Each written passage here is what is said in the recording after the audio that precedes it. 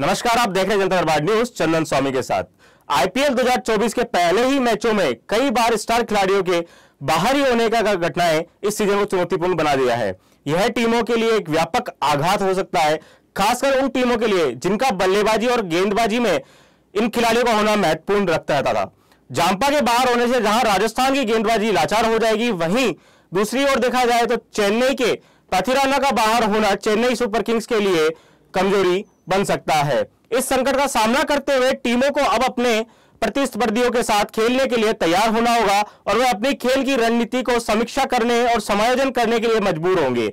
यह देखना भी रहेगा कि कैसे उन्हें इस स्थिति का सामना करने के लिए तरीका वे कौन सा चुनते हैं और किस तरह से वे इससे परेशानी से निकलते हैं।